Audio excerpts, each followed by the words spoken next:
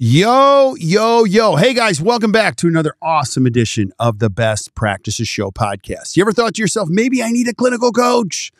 Well, today we talk about why you should have a clinical coach with two of my favorite, Dr. John Cranham and Dr. Noemi Cruz Orcutt. And today we talk about the difference between a mentor, a coach, and a teacher. It is powerful. So please listen up.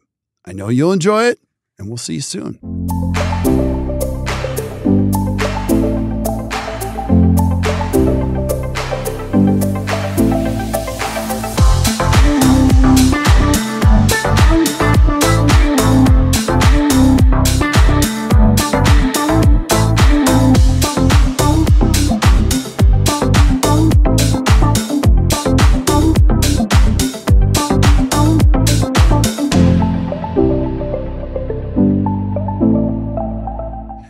Welcome back to the Best Practices Show podcast. You know the jam here. I like to find the greatest stories, greatest speakers, greatest coaches, greatest thinkers in all of dentistry, and we're going to open it up today.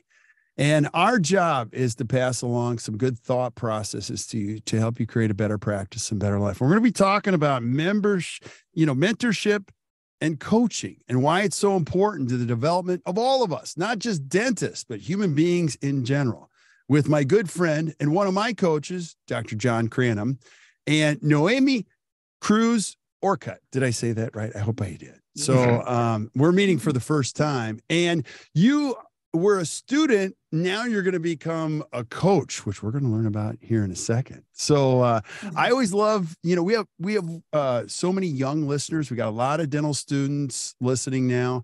I love for you guys to tell a little bit of your stories and then we'll put together the topic. Who wants to go first? Go ahead, Noemi. All right. So, my story uh, I went to the University of Iowa for dental school, and uh, I'm originally from Puerto Rico, so that's where I did my undergrad. Then, after um, completing dental school, I did an AGD at VCU Virginia, and that's one thing John and I have in common going to VCU. Then after um, practicing for about four years as an associate, I purchased um, my current practice back in Iowa. And I have been, it's going to be eight years that I have been practicing um, here in Mason City, Iowa. So right now, I, I'm a solo practitioner. The, I also went through the Dawson Academy, graduated in 2019. And from there, I have been taking numerous continuing education and uh, uh, I feel like it doesn't stop. And um, John has been one of my mentors in the process. Love it. Love it. Mm-hmm. John, let's hear your story. Who yeah, are you? so been at it a really long time, uh, 34 years uh, in dentistry now. And, um, you know, had my beginning with Pete Dawson right out of dental school, went through the Dawson Academy. And back then, there was no hands-on at Dawson, so you did Dawson, and then you went to the Pankey Institute and did all the Pankey, and then back before John Kois and Frank Spear divorced, I went through their hands-on continuum when they were together, and so just like Noemi, uh, it's been a um, kind of a career of learning. Uh, I think what kind of got me on the map back in '95 as an educator is I was simultaneously taking Dawson Pankey and a lot of of the cosmetic courses, you know, involved with the ACD. And back then it was, you know, Rosenthal and and Dickerson and Hornbrook and all those guys. Um, and what was interesting in the 90s is there was definitely a the idea of occlusion and cosmetic dentistry was kind of diametrically opposed. And and I started to I created a lecture that blended those things called the cosmetic occlusal connection, which which sort of got me going. Uh, I think what's interesting now is uh, after being with the Dawson Academy as the clinical director from about 2006 to 2020, I stepped down in 2019 and and um, have been really focused on digital workflows. Noemi was actually one of my first, actually the first client that I worked with, uh, integrating the uh, the digital workflows into her practice. But you know, here again, I think we're kind of doing it again a little bit in that you know, digital dentistry used to be sort of one tooth dentistry. It wasn't always associated with comprehensive care. And what we're really trying to do, you know, in my uh, in my new venture is blend comprehensive care thinking, complete dentistry with 100% digital workflows and um, and training doctors to do that through video education online and online lectures and some in-person learning and then also one-on-one coaching which is kind of what we wanted to talk about today because i do think it's one of those things in dentistry that is way underutilized. And with the technology today like virtual articulation and the ability to treatment plan on a computer we can use technologies like uh, or software like uh, TeamViewer or Zoom or any of these things to be able to mm-hmm. to share a screen and and it's like you're sitting right next to one another. And I think it can really help um, connect dentists, whether you're a mentor type learning or a coach or or even an interdisciplinary team, maybe better than we've ever seen it before.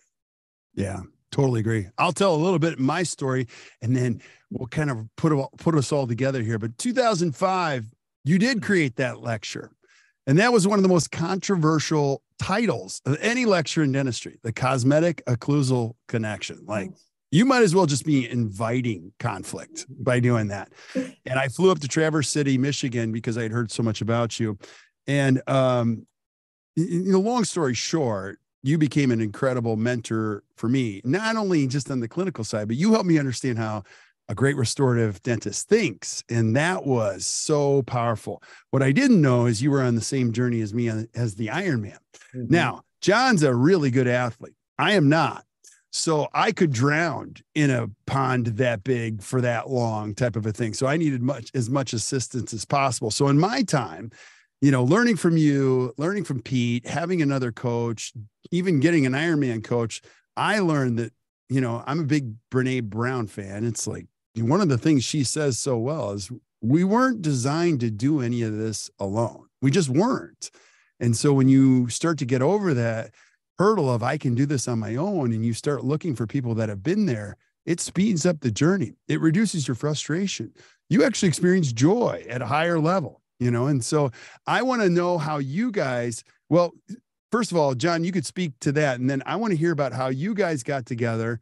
And i know a lot of dentists listening to this are like i don't know if i need a coach. I don't even know if i need a mentor. Like what do i do? John take us through that.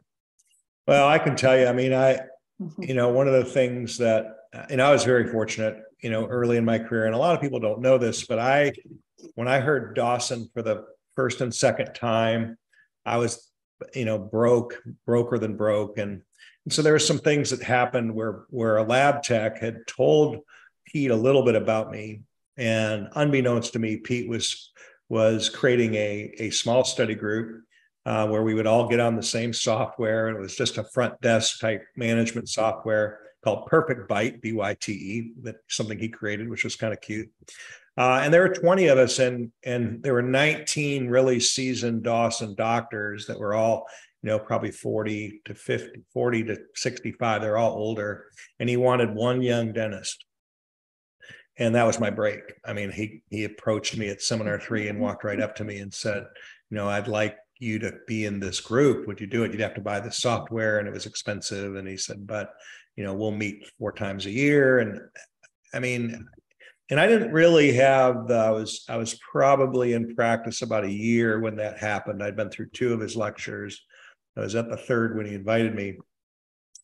And you know what you don't really realize is when you have when you're that young and then you have the ear of maybe one of the best dentists that's ever been and and they got really close with him early and then of course ended up being partners with him which is just another mind-blowing thing but but those first five years, I was in a meeting once a quarter with him and then 19 seasoned doctors.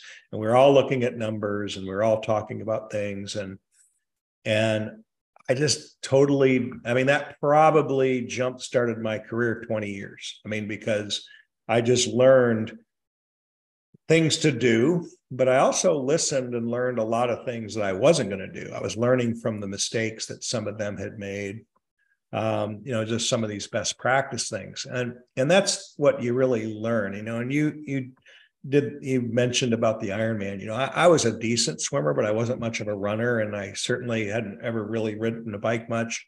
So I, you know, I found Jerry Frostick, who was a coach that that had trained like 78 people to finish an Ironman, and you know, and and and so it's, you know, it's it's a formula, right? I mean, he had a formula of what to do on what day and what to eat and what to eat and drink during the race, and you just had to do it. Now you still had to do it. You still had to do those things. So there's discipline attached with that.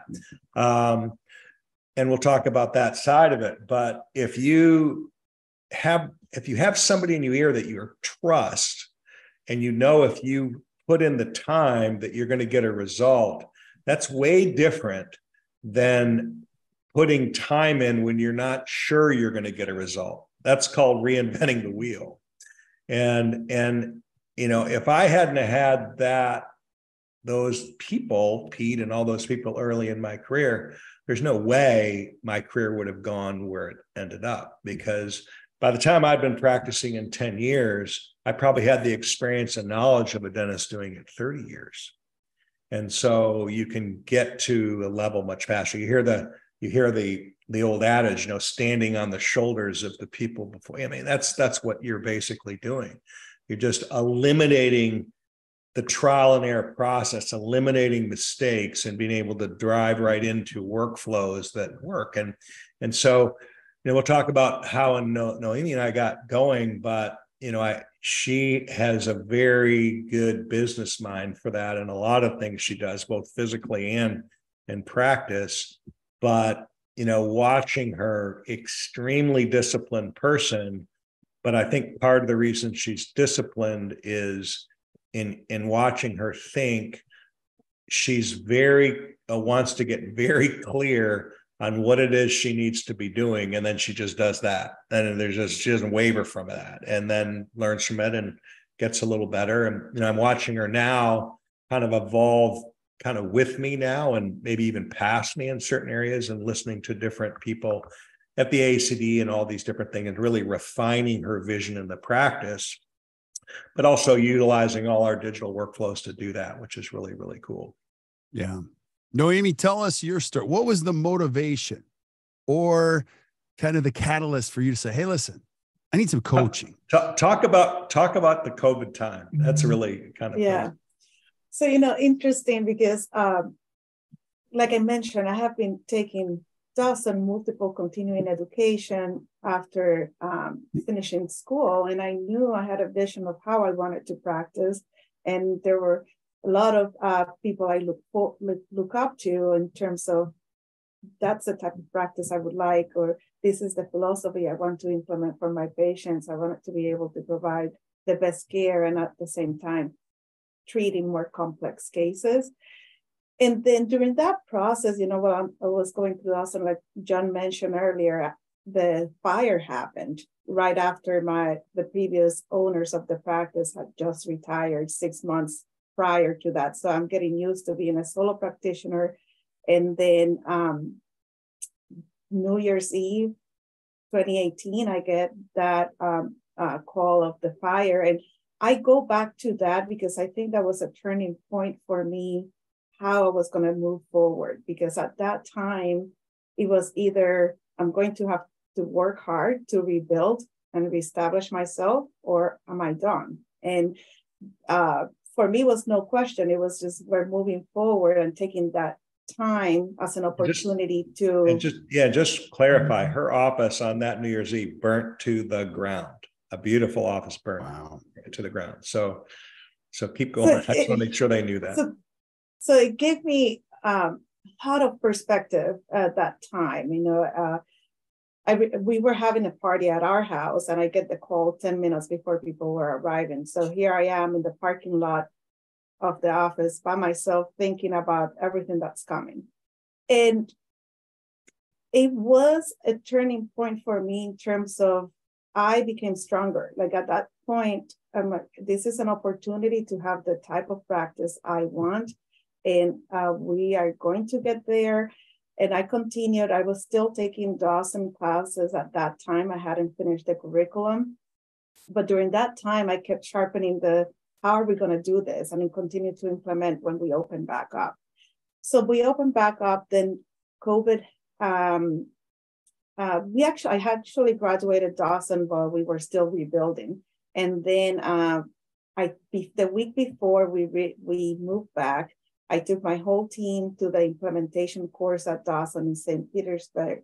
I'm like, we are opening next week, and this is how we. I want to make sure we practice this way. You know, then we had um, COVID, and we had to close again. And at that time, uh, everyone was used to it. We're like, well, we have done it before, we'll do it again. But I again committed that that was an opportunity that we were going to come back stronger because we were going to come back. There was no question. So during that time, uh, John, as a clinical director of the Dawson Academy, they had webinars every day at 8 a.m. And I don't think I missed one. And no, then also the, the night ones. And I'm like, this is an opportunity to get all those um, review these techniques. So when we come back, we, we do that. And at that time, um, John and I, well, it was we were Instagram buddies. That's how we connected. Well, I kept sending him little messages here and there and talking about the webinars and excited about uh, continuing to learn. And that's how we connected via Instagram. Even though I have done the Dawson Academy curriculum, I had not had John as one of my instructors personally. I, I knew of him, but we hadn't. At just the lectures, right? Just just in the lectures, right? Yeah, yeah just on the uh, on the webinars. Yeah, before then, I only met you when we, I graduated. So did the, you do? So you did seminar one online? I did. Oh, okay, that's why. Okay. I did. Yeah, yeah. At that time, I had had my daughter was, a, I think she was a month old when I did it online. So that's why I I did it. And um, so during that time, we connected, and uh, I wanted a mentor, and because I haven't been learning all this stuff, I'm by myself, practicing on my own. Uh, didn't have any real any other colleagues close by that were practicing the same philosophy, and looking up to John, like uh, this is a person I want to learn from. He has, you know, great static skills, plus understands function, plus has been a teacher and um, for a long time. So I like what a better person to learn from. And at that time, during that time, John had mentioned that he was stepping down from Daws- the Dawson Academy.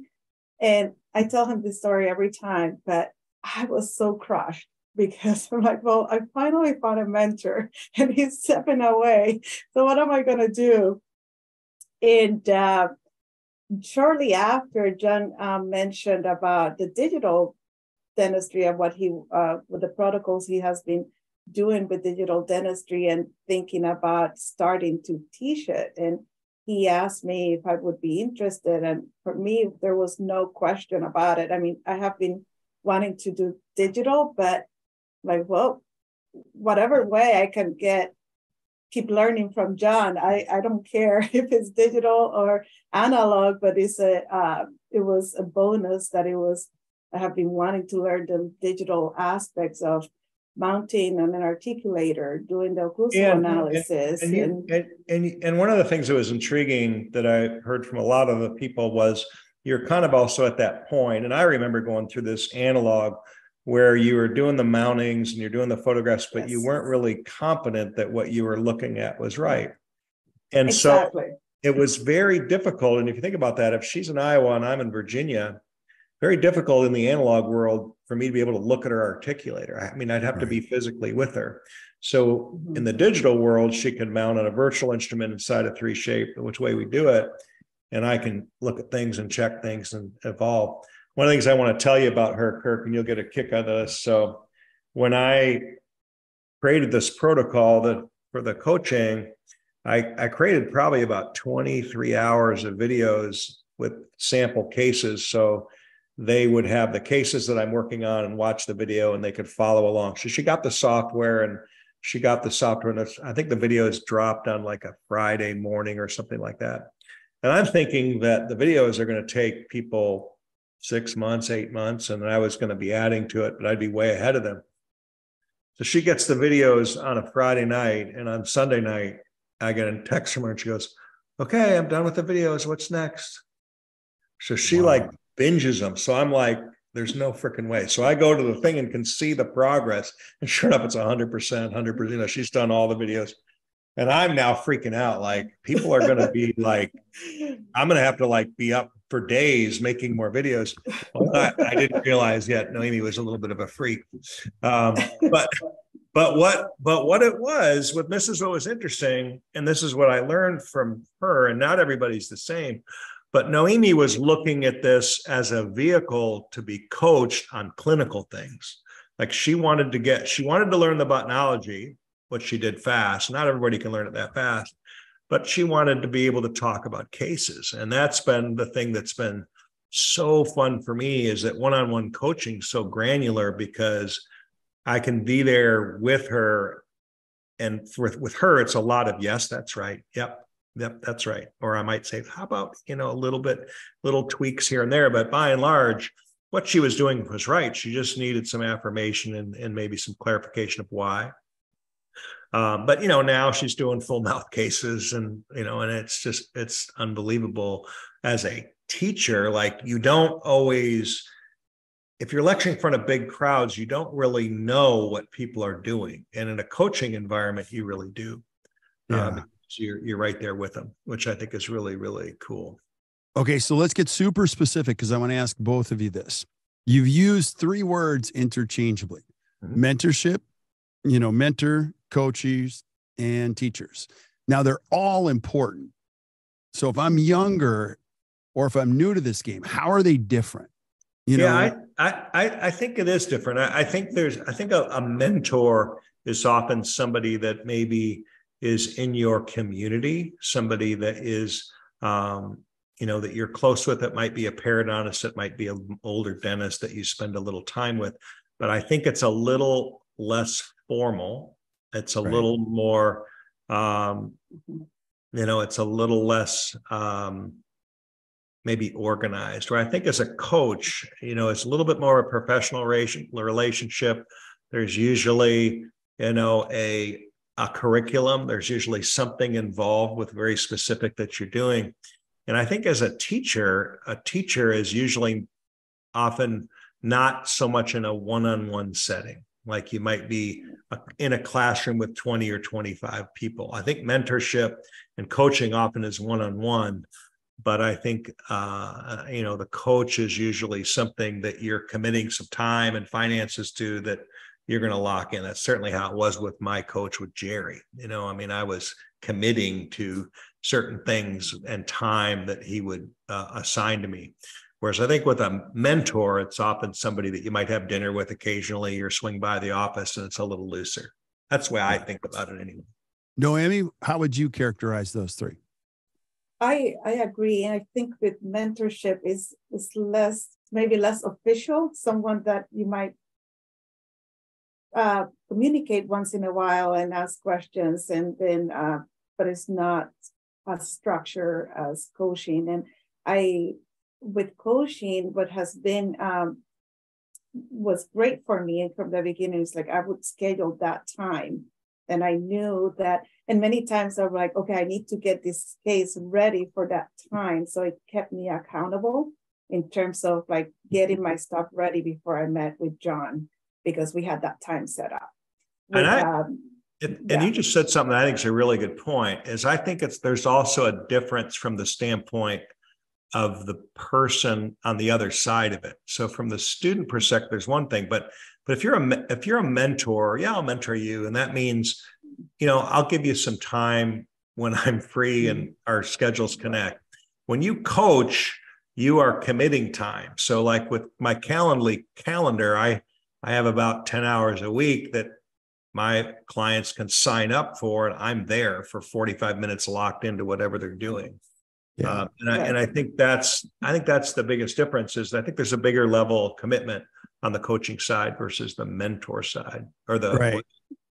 And yeah, I'll be no, honest for yeah, sorry. No, you go, go you go. But I was gonna say for me, when John before starting the coaching, I didn't want to bother as much. I mean, or I don't want to say bother, but take his time without having a structure because I'm like, well, I, I don't know how much is too much, you know, in terms of uh, taking the True. other person's time. When um, when you set set up like a coaching and if you're compensating the other person, then you feel like, okay, this is my time with this person, and I I don't feel uh, uh, bad or that I'm bothering. So yeah, yeah, that for me felt better. okay, so yeah.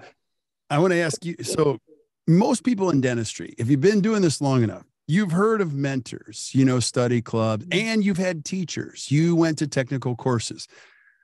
And if you heard of a coach, it was usually a business coach, not a clinical coach. So, Noemi, let's start with you. Like clinical coach, like what does that mean and how important is it to the development of a restorative dentist?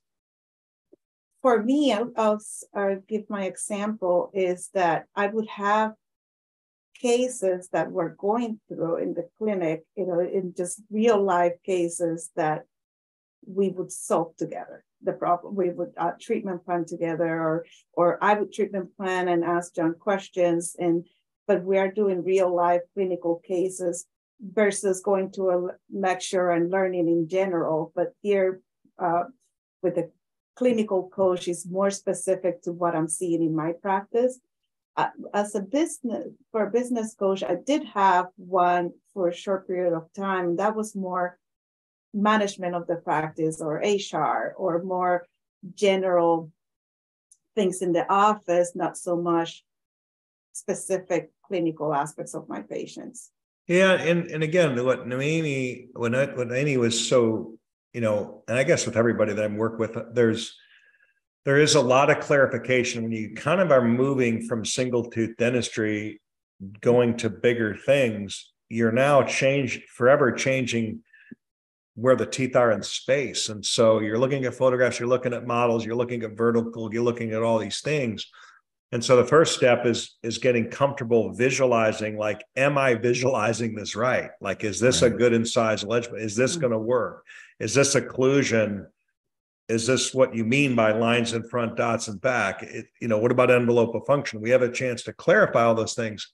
And once we do that, then you have to figure out how are we going to sequence this thing? Like, okay, I got to get these teeth out, and now implants need to go in. Like, how am I going to sequence all those things? And when you're talking to somebody that's done it for 34 years, you know, it's kind of like all those years ago when I was talking to Pete, it was the same. I mean, he had so much experience that he knew instantly I thought he was like the smartest person on the planet, and he may have very well been, but it's also because he had so much clinical experience. He knew what would work, what and he knew the literature and all those things. So, so again, it's I love it because I on a lot of these meetings, I'm not really preparing for anything unless they tell me they want me to prepare for something.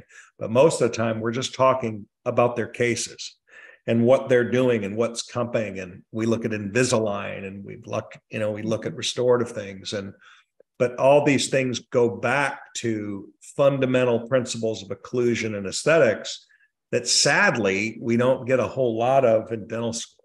You know, we get yeah. a little bit of it, but we're not really prepared to do those kind of cases. And so for doctors that want to do those kind of cases, I think this is a this is a an avenue that, you know, for really the price of a hands-on course at one of the big mm-hmm. continuums, you can have access to somebody for a full year, and that's a pretty good thing. Yeah, it's great. And so you don't really understand this when you're younger, but you get exposed to this information. And when you're young, you're like, I got it. I just heard it all. Then you go back and you're like, oh my gosh, you go back to this busy practice. But exposure and proficiency and mastery, that's quite the journey. And so I want you guys to talk about this. As a restorative dentist, your hands can only go so far, but there's no limitations to what your brain can do. And that's really a lot of the failures that we experience in dentistry. John, you help me with this. It's really in the planning stage, yeah. in the thinking. I want, can you speak to that, Noemi? And then, John, I want you to speak to that too. Yeah, you know, I to be honest, I think I had the knowledge how to do these cases, but trusting that, like John said, I, we're changing the occlusion of a mm, patients. We're doing when we're doing bigger cases, I didn't want, I wanted to make sure that before I did it, I had someone with experience looking over it and just saying, yeah, we're in the right, right place because you don't want to do any harm to the patient or put them in a, in a worse position that they, they come, come in. And John, I, you know, I always laugh because he would look at my case in five minutes and tell me, and I'm like, okay, you just looked at it and you just give me the answers and it just makes total sense. And I'm like, and I would always feel better after talking to him about the case. I'm like, okay, I got this. I feel better. It just gave me the confidence that I, to be honest, I never did a full mouth reconstruction until I had John as a coach. And part of the reason why I spent all that weekend watching the videos is because I had like 10 cases that I was waiting for to get into digital to be able to actually treat them. So I had been telling the patients, well, just wait, you know, we'll start in the new year.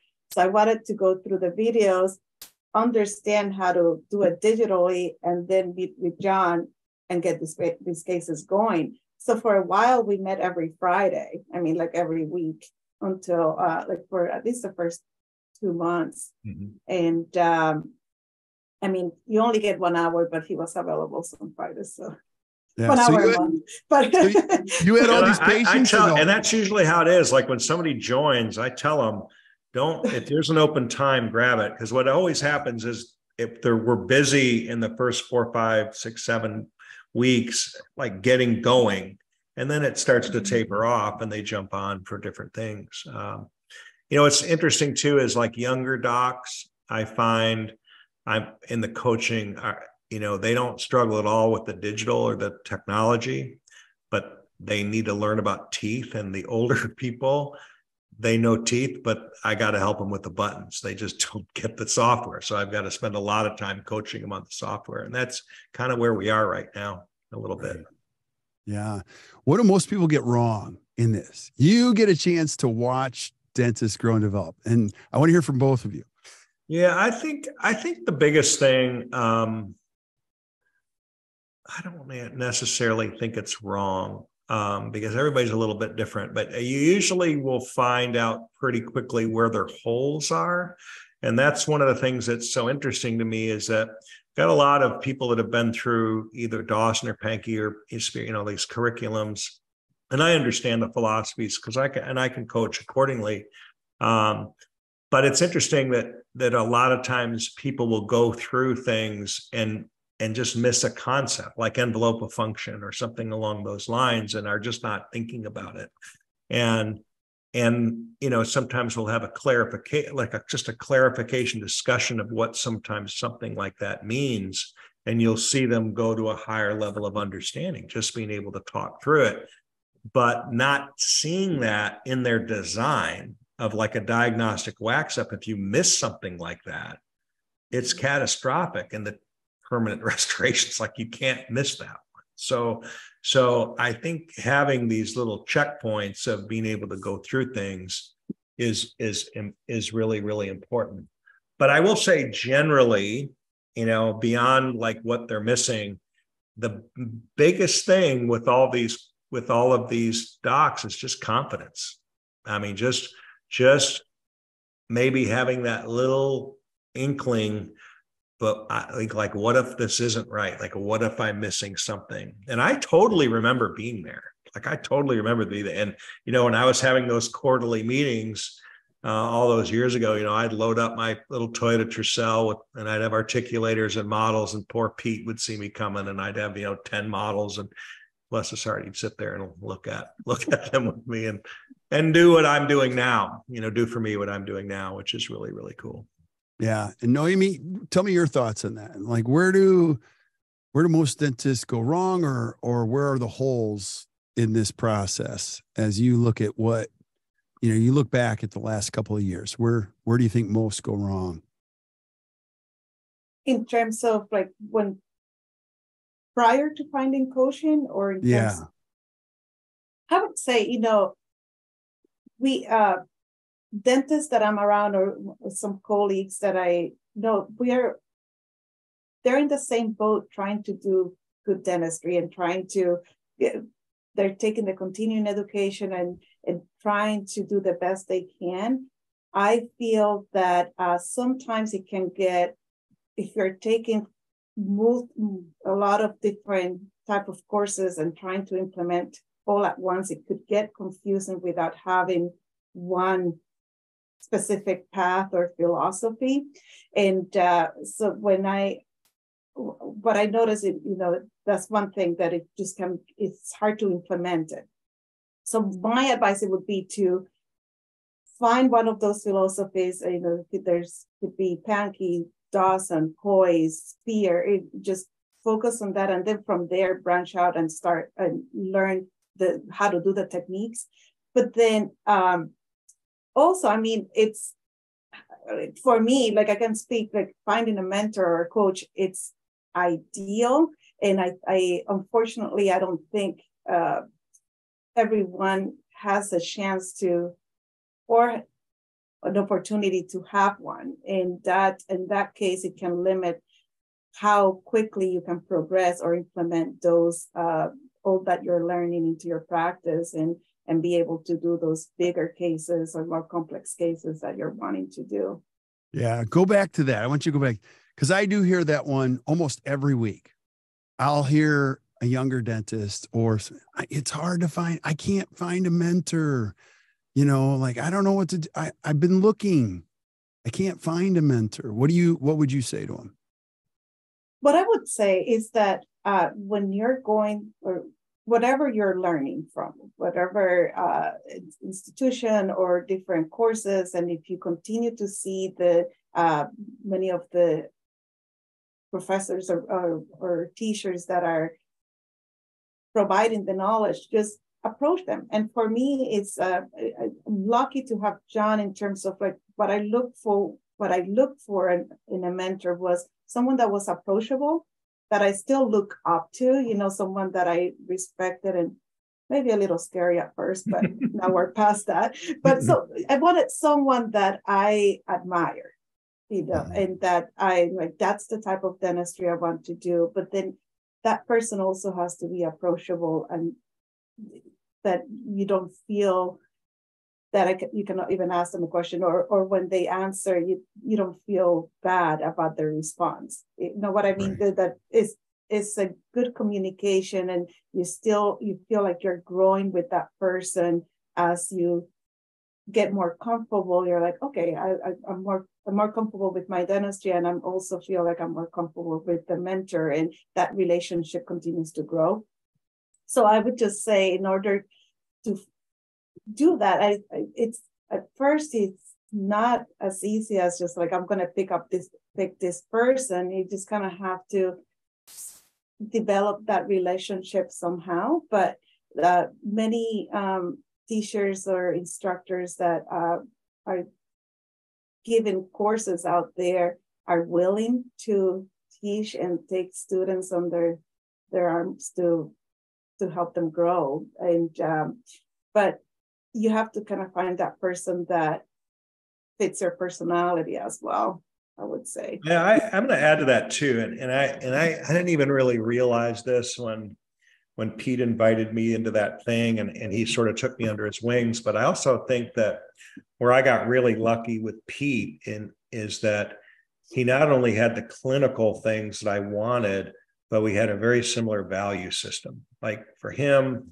doing great dentistry was 100% about being more predictive so that he could leave his office at five o'clock and go be a dad and a, a, you know like his his values for family and faith and mm-hmm. like he just he was somebody i wanted to be like right. not just as a dentist but as a person and so i think when you're picking a coach or a mentor you can sac you can separate it out. There there are short-term relationships you can have. Like if you want to do better endo you can probably find an endodontist that you're going to spend a little time with and you don't need that. But if you're if you are looking for somebody to shape your practice and i feel like that's what we're doing is it's not just about the dentistry but we're really shaping how they practice and how they set their hours and how they manage their their time um, those are all hugely tied to your value system and who you are. And so um, I think the pe- what's really been fun is the people that we've naturally attracted. Like we all got to meet at the at the Whip Symposium, uh, the digital symposium. Most most everybody came, and we got to sort of really meet as a as a tribe for the first time, not just online.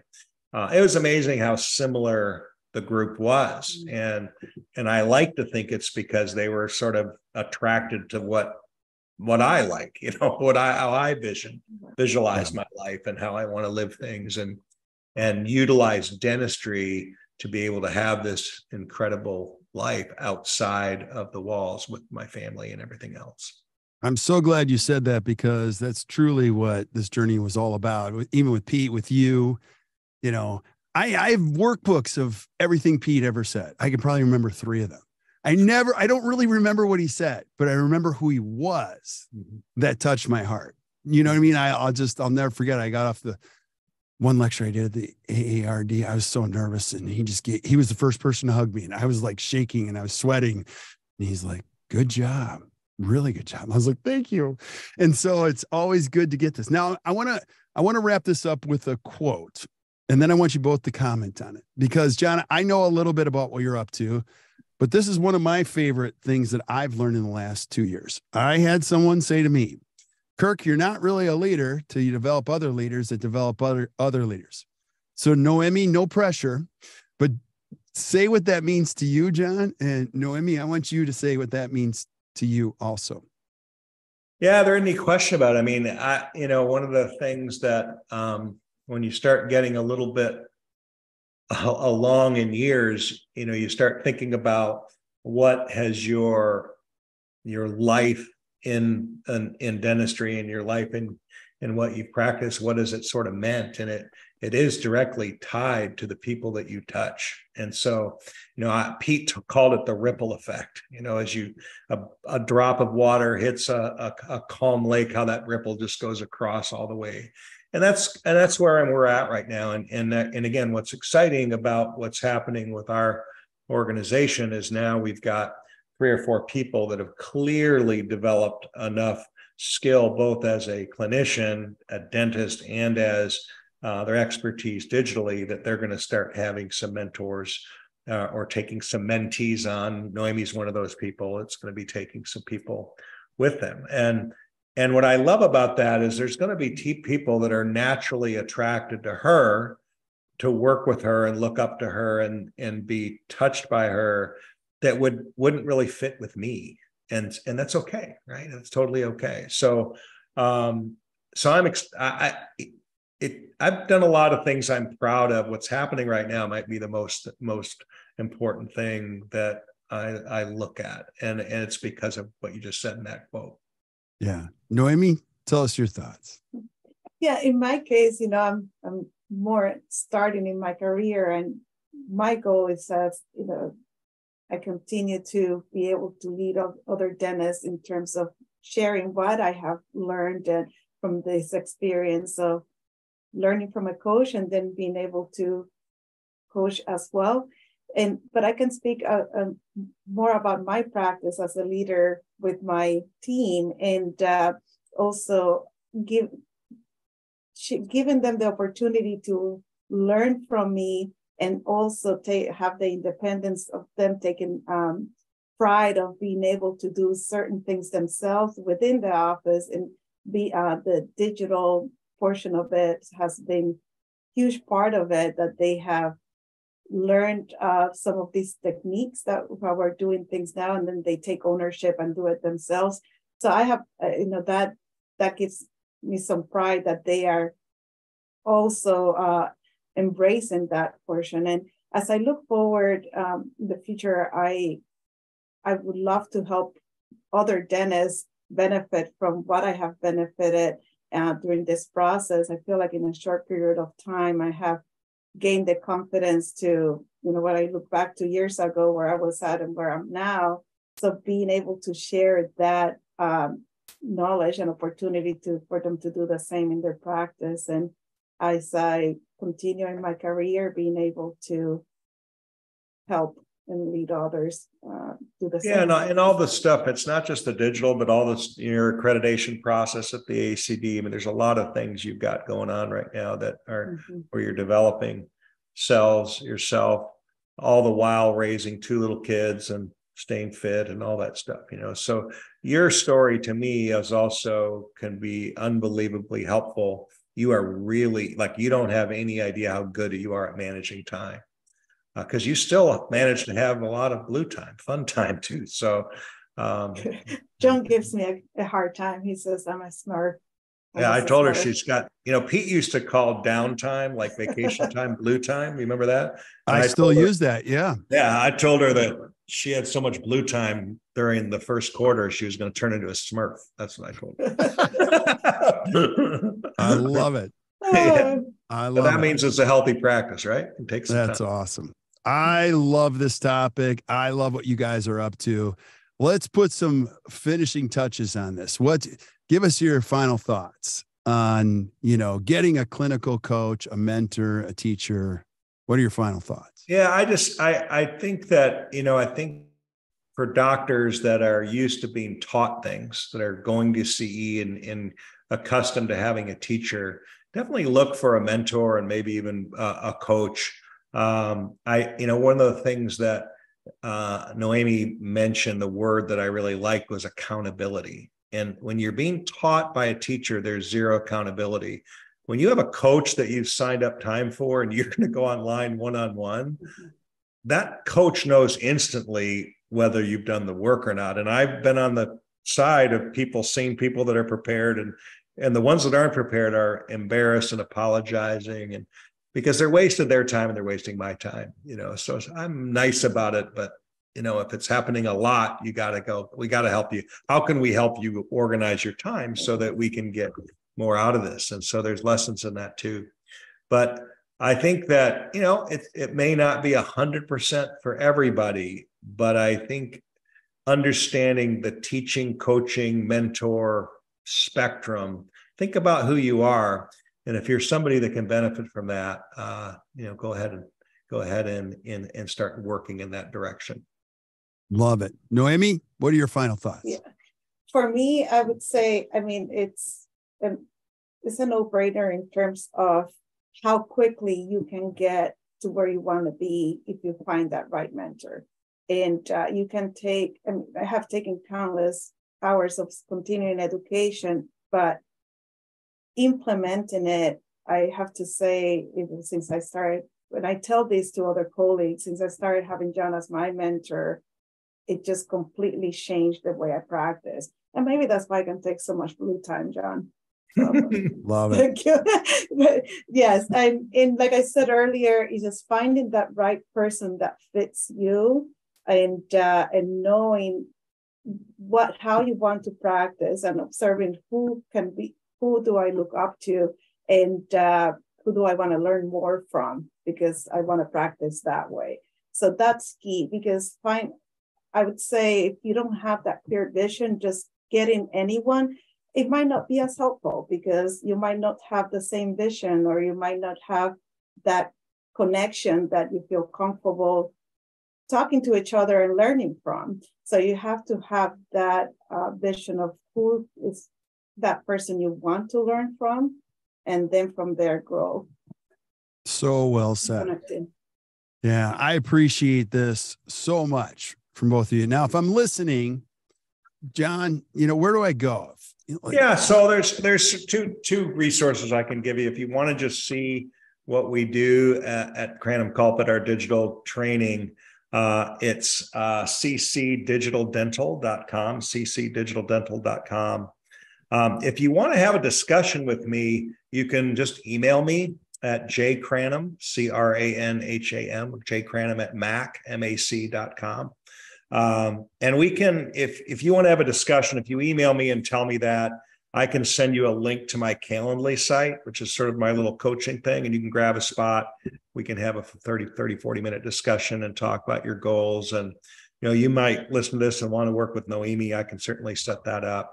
But I do think it's a um, it's certainly for certain people that again docs that are a little more comprehensively minded that want to go digital and want to have that next level of coaching. Um, we've had certainly a lot of fun developing this community. Awesome. Awesome. Well, and, re- you know, sorry, I was just going to say people have questions for me in terms of my experience going through the coaching. I'll be happy to to answer questions as well. So, um, and I did um, so for my Instagram is Noemi Cruz Orcutt DDS, so that they can send me a message through Instagram. So through Instagram is fine. Yes. Oh, okay. So we're gonna put, uh, if it's okay, we're gonna put your Instagram handle on yeah. in the show notes. So uh, if you're listening to this, you want these both of these individuals, amazing human beings. So you can flip up to the notes, Stitcher, iTunes, Spotify, whatever, you'll see the information that was discussed during the podcast. You can click right on it, it'll take you directly to it. If you're not taking notes, don't worry, we're taking them for you. So, uh, you guys can get the most out of these podcasts. So, thank you both for being on. I really appreciate both of you. Thank you. Thanks for having us, Kirk. I appreciate it. Oh my gosh, it's so much fun. Stick around while I say goodbye to everybody else, but thank you guys for listening. I love this. I don't even know where it's going. I don't even care. It's so much fun. I get to hang out and learn from the best and you can do the same so uh, keep sending us suggestions for things that you guys want to see we're lining them up and until we hear from you next time or you see us next time keep watching or keep listening to the best practices show you guys enjoy your day